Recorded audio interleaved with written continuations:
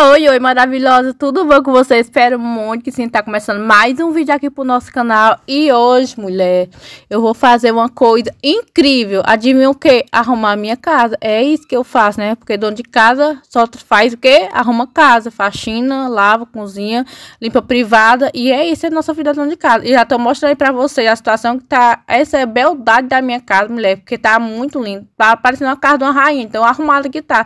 Vocês estão vendo a situação desse fogão, mulher? As limpeza maravilhosa do chão, como é que tá?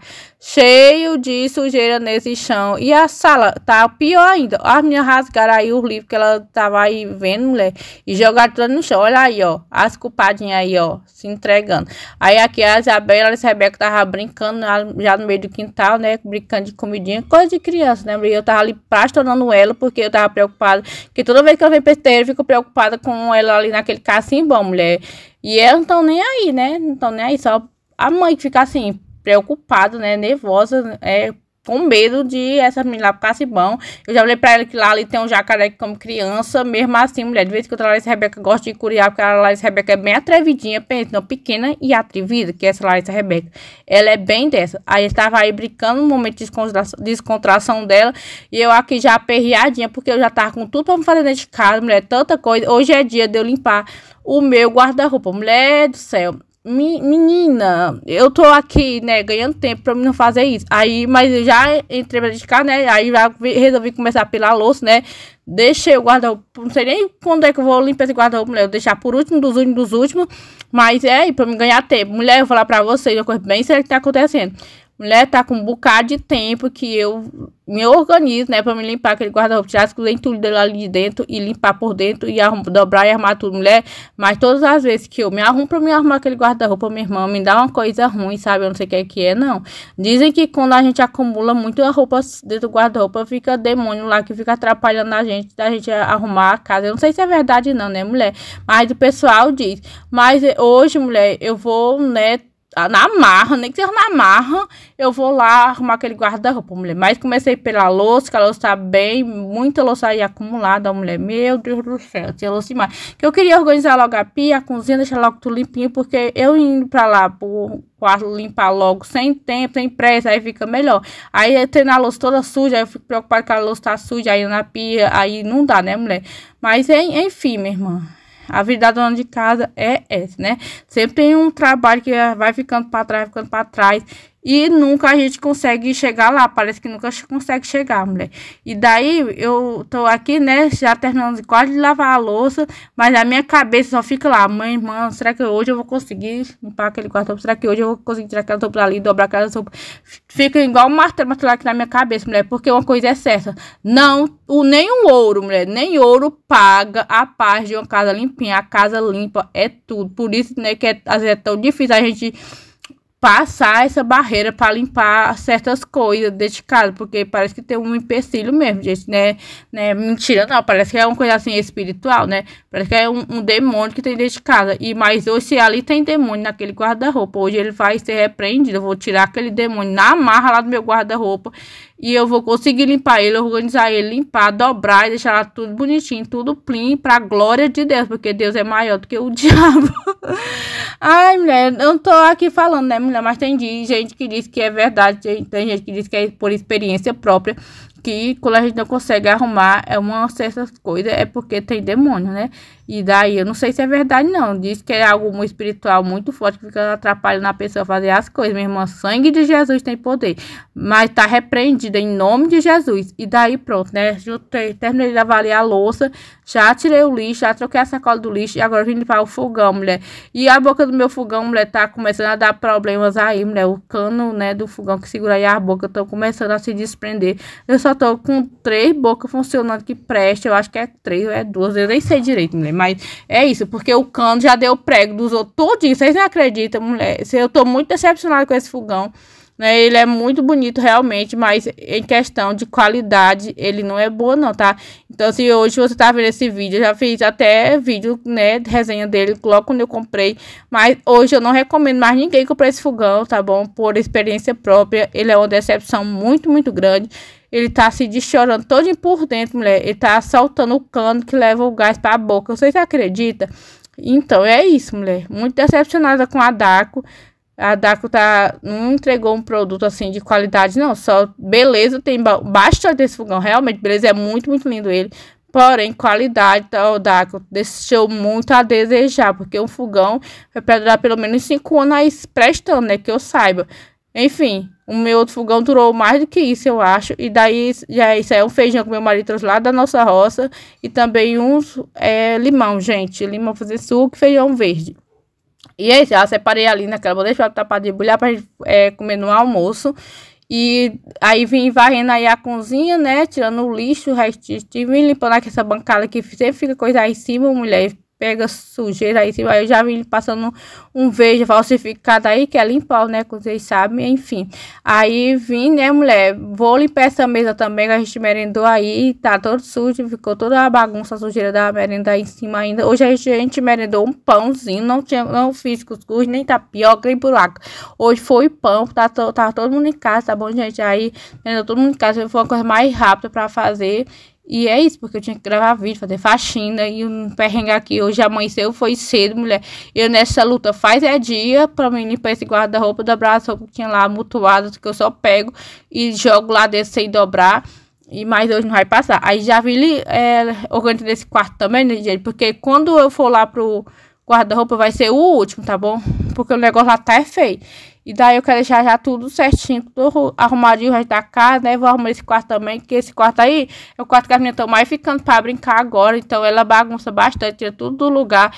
E eu sempre vou ter que, né, tá arrumando. E aí eu tirando as coisas, a Rebeca tava brincando ali, tá bom? E eu tirando as coisas que ela joga no chão, mulher. Pra me organizar no canto só. Pra quando elas quiserem brincar, elas brincam mais. Brincar. Mas, mulher, assim que elas começam a brincar, já começam a espalhar, é tudo no chão. Aí eu botei ela pra cima da cama, pra ela brincar na cama, pra não espalhar mais as coisas no chão. Né? Já que eu já tinha acabado de arrumar. Aí pronto, mulher. Aí eu vim agora pra essa sopa lavar que é roupa de cama, que hoje é dia que eu vou trocar roupa de cama, aproveitar que eu vou arrumar lá meu quarto guarda-roupa, já vou botar as roupas de cama para lavar, né, o lençol tal. E só não vou botar o cobertor, porque já é assim mais tarde. E se eu vou lavar o cobertor hoje, ele não vai secar. Então, eu botei o lençol e as roupas de cama. E foi isso, gente. Aí pronto. Aí aqui a minha filha, né, a Melissa, vai aí o chão da sala, né? Veio pedir ela para me ajudar a pelo menos varrer a casa, né, mulher? Porque tinha muita coisa pra fazer, aproveitar que ela tava em casa me ajudar. Aí agora começou, mulher. Começou a libertação desse guarda-roupa desarrumado. Tirei, tô começando a tirar tudo de fora. Esse, essa flor que eu tô mostrando pra você foi meu irmão caçula que me deu, que eu, pra mim, meu irmão caçula é como se fosse meu filho, meu primogênito, o meu filho Samuel. Eu amo muito. E ele me deu essa flor, dia das mães, e eu guardo com todo carinho do mundo. E aí, eu multidão de roupa sem dobrar aí, mulher. Aí ele enganchou ali, as meninas me ajudando, tentando me ajudar. Só a misericórdia do Senhor Jesus. Olha aí, mulher, a situação de sair. Minha irmã de Deus. Me, é, tem muita bagunça aí, muita bagunça. Mas se hoje realmente tem um demônio aí desse guarda-roupa, ele vai sair em nome de Jesus.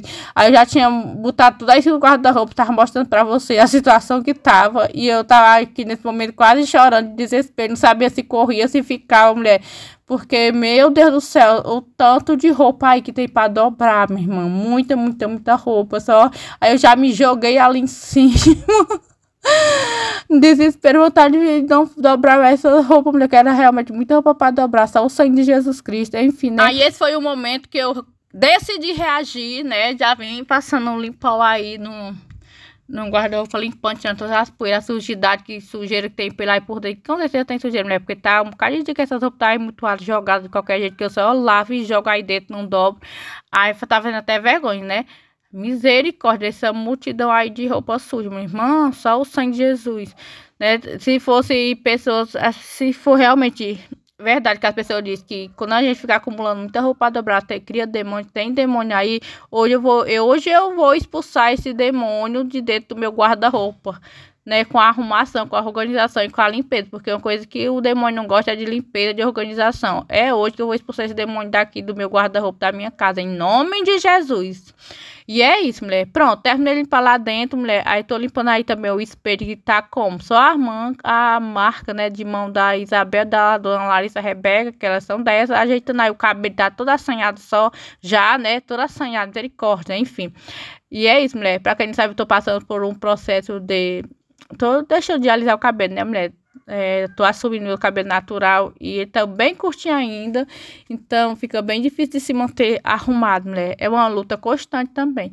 Enfim, aí pronto, né? Limpei o guarda-roupa, que foi a primeira parte da libertação dos demônios do meu guarda-roupa. E agora, mulher, eu vou começar a dobrar as redes, roupa de cama, essas roupas mais grandes, pra mim botando logo primeiro. E depois eu venho limpando, dobrando logo as roupas. Depois, né, que eu terminar de dobrar as roupas grandes, eu venho, limpando, eu venho dobrando as roupas pequenas, roupa menor, roupa minha, do meu marido, essa tal, né?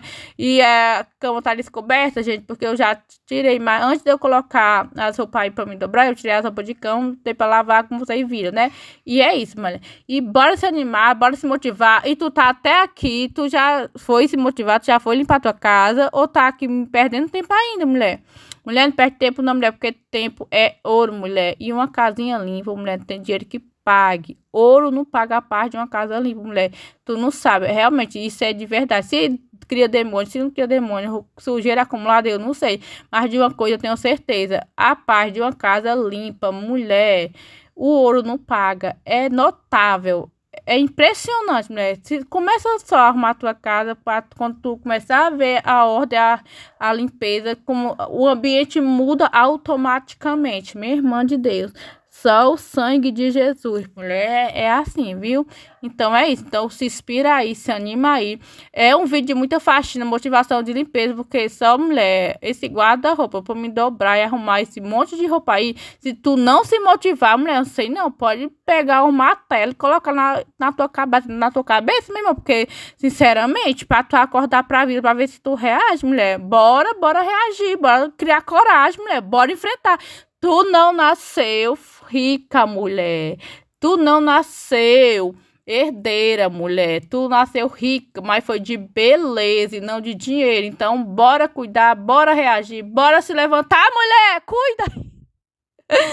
Ai, momento é que loucura, mulher. Não releve, né? Releve aí de boas e é isso, mulher. Aí comecei a dobrar as roupas pequenas, graças a Deus, glória a Deus, aleluia, né? Já organizei lá a roupa do meu maridão, lá do lado dele. Mulher, eu comida pra vocês. Eu não vou arrumar o guarda-roupa todo completo, não. Ainda vai ficar aquela outra parte lá que eu não vou mexer hoje, mulher, porque eu não dou conta, não. Eu tô sendo sincera aqui com vocês. Não vou dizer assim, ai, eu, eu sou a, a perigosa que eu vou arrumar esse guarda-roupa todo dia hoje. Vou não, mulher. Vou não, vou não. Tô conversando aqui pra vocês. Não minto, tá bom? Não vou inventar mentira aqui pra vocês. Então, eu vou arrumar as duas partes. E aquela outra parte, que é a última, que é a minha, eu vou deixar por último, tá bom? E é isso, né? E tá tudo certo. Porque a gente morre e o trabalho fica aí. Então, a gente vai morrer fazendo esse trabalho todo uma vez, não. Porque a gente também é de carne e osso. Ninguém é de ferro, não. Eu hein?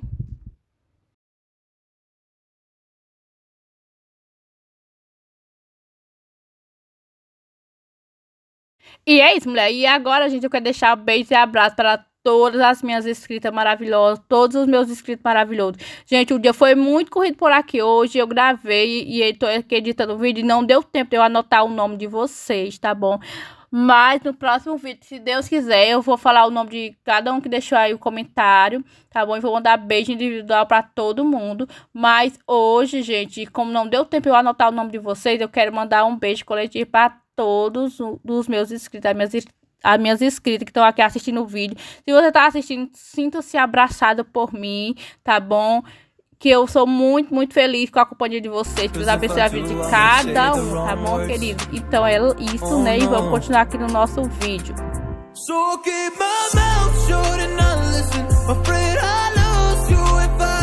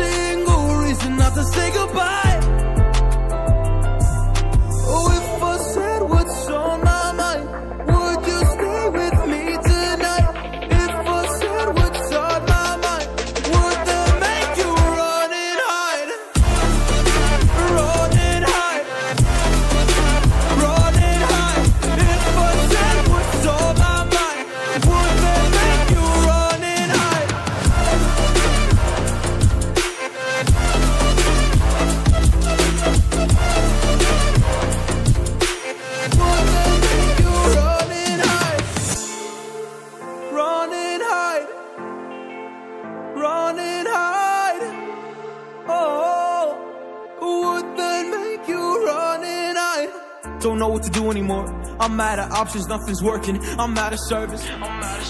Come help me now, I'm fucking nervous. I'm trying but can't scratch the surface.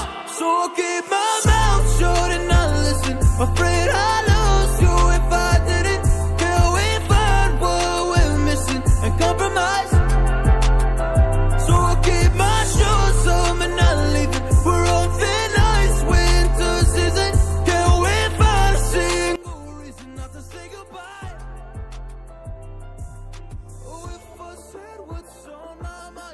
Gente, terminei aqui de arrumar o quarto e a leveza que tá aqui realmente, mulher, não se conta. E também esqueci de gravar o restante da casa, mulher, mas, né, terminei tudo, né, tá tudo limpinho, organizado por aqui, graças a Deus. Tá bom? E é uma paz que reina muito, muito grande depois que a gente consegue arrumar a casa, mulher. E eu espero muito que vocês tenham gostado desse vídeo. Se gostou, deixa o like, compartilha, comenta o que, é que você achou do vídeo, tá bom? Eu sou muito grata pela companhia de cada um de vocês. Vou me despedir, um beijo e até o próximo vídeo.